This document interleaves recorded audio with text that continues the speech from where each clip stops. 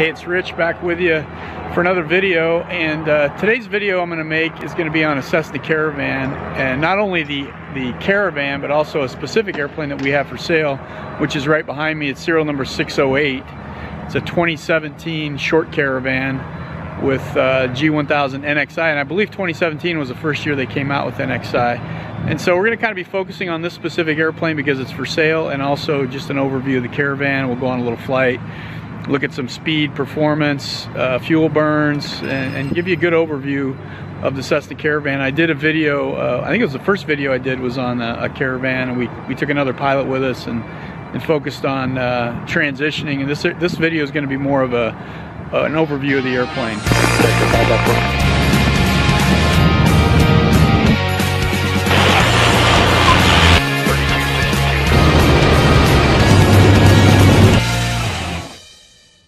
So Cessna makes two variants of the Caravan, the short version, which is the straight 208, which is, is this airplane, and then the Grand Caravan, which is uh, now called the 208B uh, Grand Caravan with an EX after it, which the EX is uh, the version where they extended the horsepower up to 867. This airplane has 670 uh, 75 horsepower PT6 um, everything else is the same except for the engine horsepower and uh, the, the length of the fuselage. And then the gross weight of the Grand is 8750 versus 8000 on the short airplane. We'll do another video on the Grand Caravan later. Um, this particular airplane has all of the the uh, the options as far as oversized tires. It has air conditioning. It has uh, an oxygen system.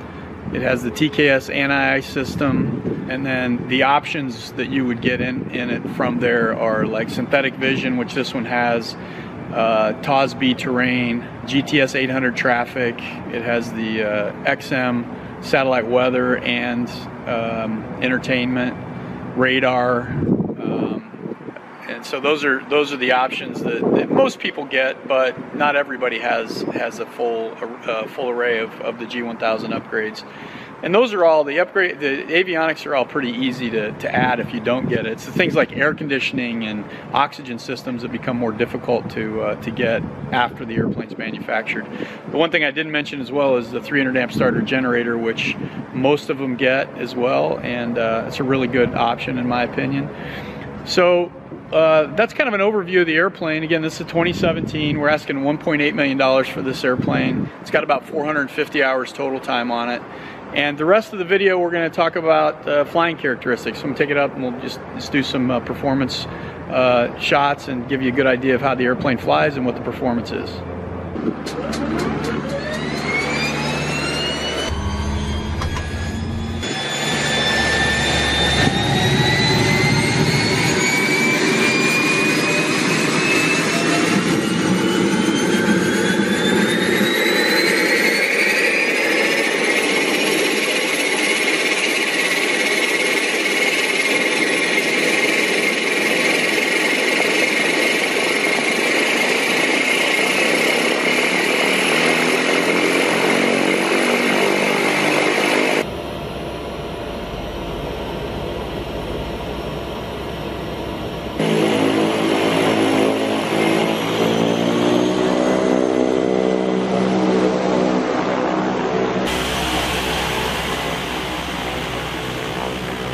taxiing out to, to runway 26 left at Long Beach. And as I mentioned earlier, some of the options on the uh, 1000, so if we go to the map, before Juliet uh, section on the uh, MFD, so you have the main map, the traffic, dedicated traffic map, so that's the GTS 800 component.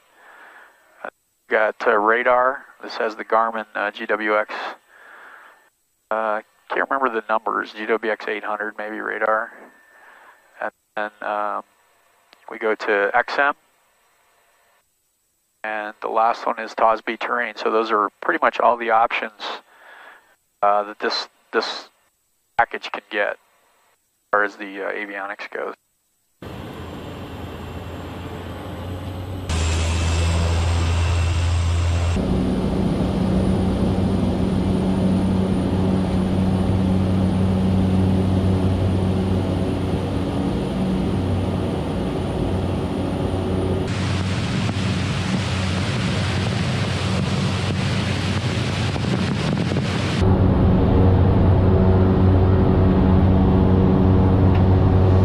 So we're climbing out uh, over the harbor here off of Long Beach Airport of about 4,000 feet. I'm going to go up to 5,500, and uh, we'll show basically, it's a fairly low altitude in cruise, but we'll show some performance numbers and fuel burns at, at 500 feet, 5,500 feet. Um, but again, to reemphasize the Caravan, you know, this airplane has uh, 3,200 pounds of useful load and 2,200 pounds of fuel. So the full fuel payload is 1,000 pounds. Gives you a lot of range, a lot of endurance. So most people, you know, operate the airplane with a 1,000 pounds under, save a 1,000 pounds of fuel and use it for people. So generally three hours of flying and you have 2,000 pounds of payload which makes it a very, you know, utilitarian type of airplane. All the seats can come out very quickly if you need to to take just cargo or if you need just a couple of seats, you can put a couple of seats in it or however many you need and interchange uh, seats for, for cargo space. A big cargo door that's made to fit a four foot uh, pallet in so you could load in with it. The airplane has, you know, was built originally for, you know, cargo.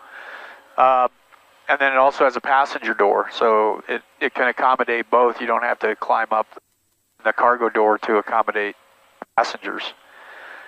Um, it's fully uh, known certified air, uh, certified known ice airplane, so you can fly in icing with the TKS system. It's a it's an anti-ice system, so the idea is you turn it on before uh, you get into icing conditions, and uh, and uh, keeps the ice off the airplane, the propeller, the windscreen, uh, the struts, the leading edges of the wing, uh, horizontal stab, vertical stab. It's all protected space, and makes it makes it a really uh, good uh, de-ice package for this airplane.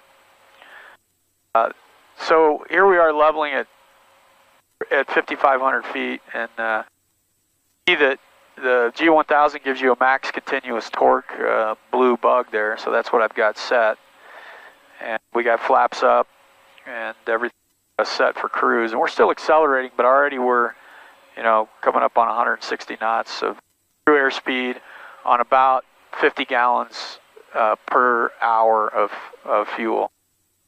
Nice, stable, smooth ride, and uh, now we're up you know, I'm expecting we'll probably get up to 167 to 170 knots of true airspeed at this at this altitude. Caravan is one of the easiest airplanes, honestly, uh, that I've ever flown. It's very, uh, very forgiving. It flies slow really well. The turbine engine is more difficult uh, as a transition from a piston engine.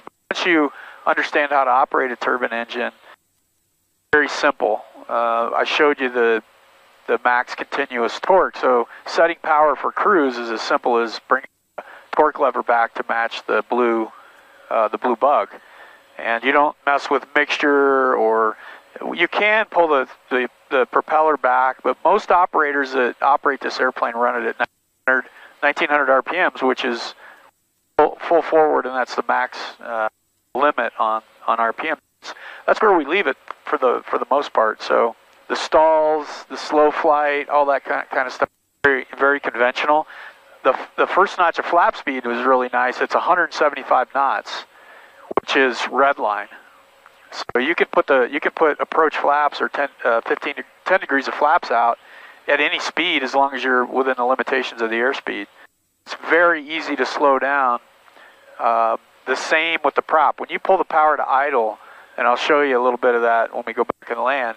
Uh, the the prop gets into flat pitch and it really slows the airplane down. So as I always tell people, it's very tough to be too high or too fast in a caravan because get full flaps in and power to idle and it slows down very very fast to the point that you got to really you know watch it get too slow very quickly. Again, transitioning from really any airplane to a caravan for any pilot is, is really a simple transition.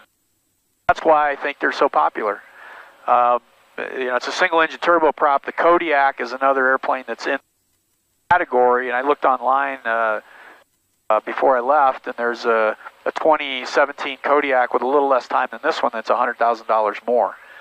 uh, basically the same equipment. The only difference you're really going to get with a Kodiak is you're going to get a cargo pod on a short uh, on on on that airplane. Most short caravans don't have cargo pods. We feel like we got plenty of uh, space back to accommodate that. You don't really need a cargo pod. And so they're priced similar. The Kodiak has uh, 750 horsepower. This is 675. So there are a few differences: four blade prop versus a three blade prop, and uh, you know there there are some differences, but they're more similar than they are different. And uh, the di- one of the big differences is the Caravan's been out since 1985, and it's got millions of high utilization uh, operating hours on it. So the cost of operation, reliability, those kinds of things, you gotta, you gotta give that to the Caravan because of uh, it's just the number of years it's been in operation. Doesn't mean a Kodiak's a bad airplane. It just means it doesn't have the the time in the market with really high utilization operation. Long Beach Tower, I got the 317 Echo X-ray 5 South, got Quebec, like a Redondo arrival for uh, IEX helicopter. So coming back into Long Beach. 317 Traffic, Echo 9 o'clock, low, less than 1 mile. approve report one mile One of the things that uh, I really like about caravans, total picture of this airplane, uh, PT6 motor, G1000 avionics, Left, uh, left standard departure. basic airframe, fixed gear, you know, non-pressurized. It's a lot like a, you know, 182 river, that's Daly River, one got a lot more capability in All right, left cabin, seating, uh, takeoff. Eight. uh, two, four. cargo capability, but the, the flying characteristics are, Traffic, are 11 similar. o'clock, high, It- 2 miles. It's just like a uh, Long Beach Tower shows helicopter 9 Victor. 182 in that regard. Once you learn, Helicopter again, Niner Victor, Pat 3, clear uh, the line. the turbine engine, but Clear once you learn it, it's actually simpler. It's like I said, it's the transition Tower, that's Twin Star 417 Tango Sierra. it's, uh, right. Uh, that's more- frequency. 417 difficult's the right word. I'm- Affirmative view on that. I'm not even sure it is. So I'm doing 150 knots right here now, and I'm I'm almost to the downwind, but I'm not worried Sierra, standby. because I can slow it down so fast. It's so easy to slow down. That's one of the great uh, the great things about the airplane is the wide range of, of operating. You know, it's not super fast, but it's it's a pretty good cross country airplane. And, uh, and it also has very, very good short field performance. traffic for 26 Heavy, West West Quebec. gross weight. I'm talking gross weight short field performance, not just when it's light. Uh, in fact, you know, you really don't even notice West 26 Sierra Lima. when it's heavy. Tango Papa's signal hill for the left downwind. Ready, Tango Papa, runway 26 left, clear the line. Clear to land, 26 Traffic, left, 11 208 Tango o'clock, Papa. low, less than 1 mile. Sierra, follow traffic ahead, runway 26 A lot of traffic calls being made uh, by the traffic system out here, but that's normal for Long Beach Airport. 7 Echo X-ray mile. Traffic, 2 o'clock. 7 Echo X-ray, A lot of uh, good news is a lot of people out flying and a lot of activity. Here's downwind to beam. I'm at 125 now, and uh, everything's set for landing. I'm clear to land, so I'm going to make a bring the power back and get some flaps in and make a fairly short approach here. 684 Alpha Tango. If you were in the airplane right now, you could really feel it slowing down because the prop is November 684 Alpha Tango. It's really, Tower waiting out for uh, coming back, and I, I've lost about 30 knots in a span of about span of about eight seconds. I'm gonna end up having to add power. Final's clear. Now I'm 90 knots, full flaps, 500. and I'm pretty much right where I want to be. I, I don't. I'm not even using full. I don't even have the power at idle. As he says, I'm high. November 3 Sierra Lima, runway 26 right, clear for the option. I can easily 26 right. Clear for their options. 3 Sierra Lima. down here and probably make that first turn off on 26 left. And I'm, I'm still high on the VASIs. I'm losing speed at this steep deck angle.